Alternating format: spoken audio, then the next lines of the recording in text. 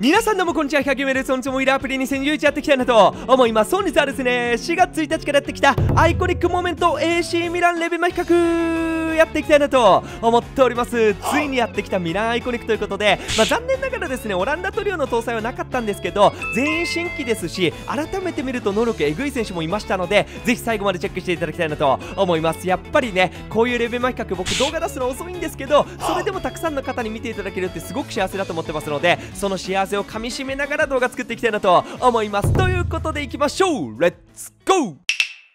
はいまず1人目はですねロナウジーノ選手ということで2008年9月28日の試合からですねこちらインテルとのミラノダービーで移籍後初ゴールを決めて1対0の勝利に貢献した試合からですね。はいちなみにですねこの後にいつもね再現ゴール動画っていうのを流してたと思うんですけど最近ですね公式のツイッターから発信されなくなっちゃいましたので今回も前回同様動画をお休みですね。はいでこちらがですねまず39歳のレジェンドロナウジーノということであの僕こっそりですね120円ロナウジーノって呼んでるんですけどさすがにこのレジェンドからめちゃめちゃ強くなってますよ。よね。はいやっぱりこのドリブル係数値はえげつないなと思ってて補正なしでもですねボリコン含めてドリブル系は全て95超えてきますししかもですねパス得点能力もしっかりありますのでなんだろうドリブルだけじゃなくて何でもできるタイプなんですよね。まあ特にね僕くんさんみたいにドリブル上手い人に使わせると相当えげつないんじゃないかなと思っております。あとはですね今回補正かければ総合値も100乗ってきますのでこの辺りの見た目もすごくいいんじゃないかなと思っております。で実際補正かけるとドリブル面はもちろんですねパス系もともに95超えてきますし他数値もですねほぼほぼ85超えてきますので使用感もかなりいいんじゃないかなと思っております。まあ、ただ気になる点で言うと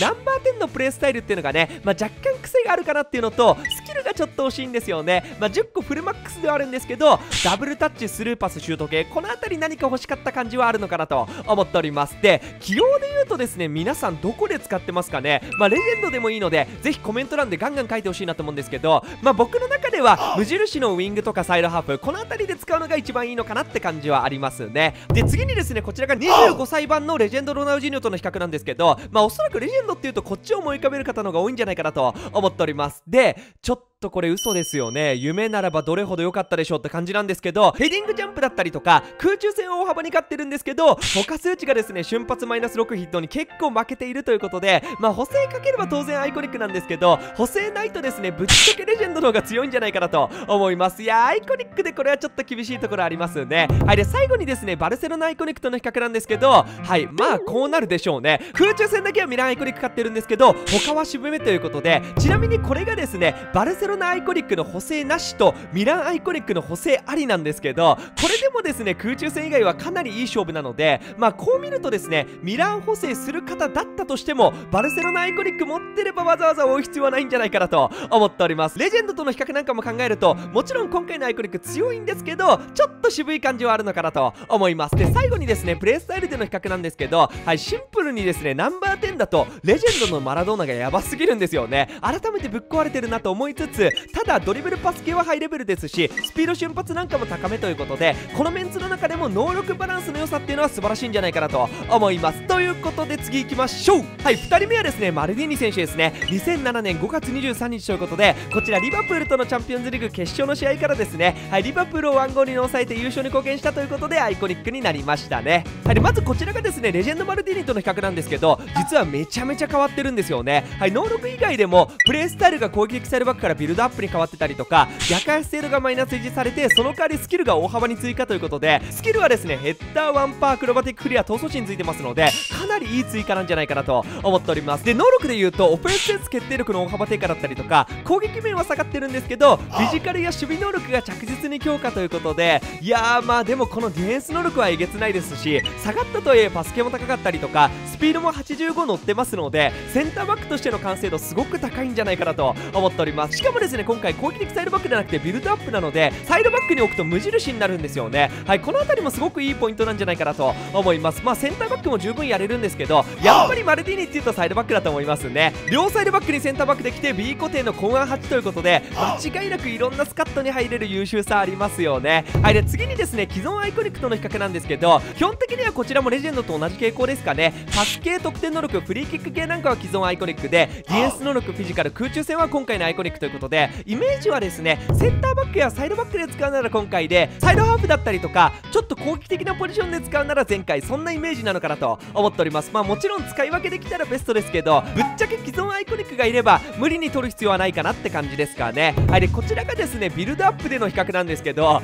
いやこう見るとベッケンバウアーやばいね。ベッケンえぐいなと思いつつこれですね補正状態ではあるものの守備能力はですねバラン、ダイク、デリフト全員を抑えてトップ数値ですしなんだかんだですねチャャンスメイクもベッケンに次いであったりとかスピードやフィジカルも悪くないのでいやーこれは強いなって思いましたね。はいでこれがですねアイコニックベッケンとのがっつり比較なんですけどやっぱり全体の能力はかなりベッケン高いですよね。スピードやパスのうまさも圧倒してますのでチャンスメイクは間違いなくベッケンなんですがただですね守備能力スタミナ空中戦身長この辺りはマルディーニ勝ってますのでセンターックで使うなら間違いなくマルディーニだと思いますよね。でサイドバックではですね何を重視するかかなと思っててまあチャンスメイクならベッケン守備能力ならマルディーニって感じですかね。まあ右サイドバックベッケンの左サイドバックマルディーニとかそんな使い方ができたらかなり豪華でいいんじゃないかなって思いますけどね。はいということで次行きましょう。はいこのガチャ最後はですねインザーギ選手ですね。2007年5月23日ということで実はこちらもですねマルディーニと同じくチャンピオンズリーグ決勝リバプール戦からなんですよね。この試合ですね2対1で勝ったんですけどその2得点ともインザーギのゴールでしたね。はいでまずはですねインザーギレジェンドとの比較なんですけどまあやっぱりですね B 固定のスパサブラインブレーカーって時点でまあかなり貴重ではありますし2020はめちゃめちゃ使われてましたよね。今作はちょっと使用頻度少なくなったのかなって印象ですかね。まあレジェンドからで言うと能力もしっかり強化されてますしまあスキル追加枠は埋まってしまったんですけどドロップやライジングこの辺りの優秀なスキルも追加されましたので相当強くなってるんじゃないかなと思います。まあ決定力なんかは下がってるんですけどそれでも補正なしで96ありますしこの得点能力の高さに全体的に安定感のある能力構成ですよね。補正プラススーパーサブ状態の数値とか相当えぐいことになってますのでこの辺り万能ライブレ感あるんじゃないかなと思います。でそこにですねスキルでワンパイ減ったシュート系が豊富なのでまあライブレスパサブの中でもピカ1の使いやすさと得点能力はあるんじゃないかなと思います。であとはですねスパサブ枠が常に B 固定っていうのはなんだかんだ貴重なので初ゲットした方はですね高頻度でガチスカに入り込んでくるんじゃないかなと思います。でこちらがですね2020の既存アイコニックとの比較なんですけどこれ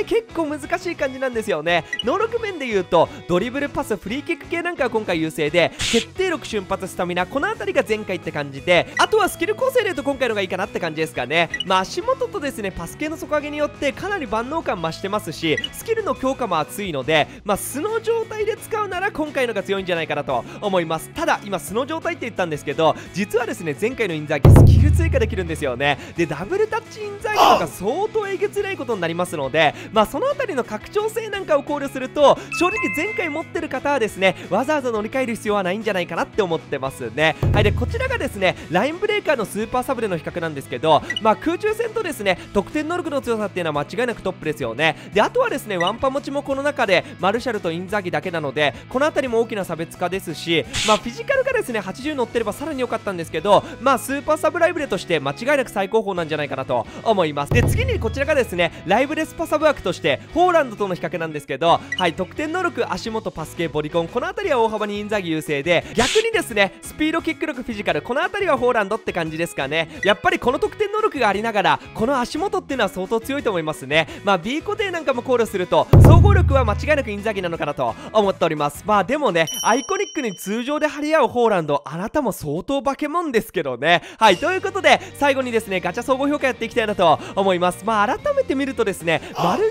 は特に能力えげつないなと思いましたね。ただですねロナウジーナが今回ちょっと渋いのとまあインザーギもですねレジェンドがスキル追加できることなんかも考慮するとちょっとリスキーなガチャではあるのかなと思います。まあミラン補正でがっつりいく方は勝負してもいいと思うんですけどそれ以外の方は無理して引かなくてもいいのかなと思います。まあ特にですね既存アイコニック持ってる人に関しては全く勝負する必要はないんじゃないかなと思っております。ということで今回動画以上で終わっていきたいなと思います。結構いい選手はいますしさっきも言ったようにマルディーニに関してはいろんなスカットに入り込んでくる汎用性あると思いますのでぜひ引く方はあの頑張っていただきたいなと思います。いいな参考になったなと思ったらぜひ高評価チャンネル登録で応援してください。ではまた次の動画でお会いしましょう。バイバイ。本日も動画見ていただきありがとうございました。本日の選手クイズはこちらになります。ぜひ予想していただいてこの後のエンディングに答え書いてますので確認してみてください。明日絶対に沼らないことをここに誓います。いつもありがとうございます。バイバイ。